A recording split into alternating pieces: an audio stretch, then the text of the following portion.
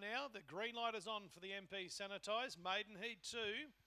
Favourite is the red at 280. Sensational racing. Sensational began quickly, leads early. Dynamite designed a second. Down the outside, Lord Ripple tries to cross, and Undia is going to be fourth into the first turn. They go through the pen, two off the fence. Sensational leads. Lord Ripple has the inside, but can't match it at the moment. Undia two and a half lengths away, three off. Then Good Charlotte. The favourites have it. Behind them then was Double Sprite. Dynamite design Bago Bitter and double sprite back near the tail. In the straight though, sensational. The money was right. Sensational too good by six on the line. Hanging on for second will be Lord Ripple from the fast finishing Good Charlotte. Fourth, probably double sprite, just getting past Undia.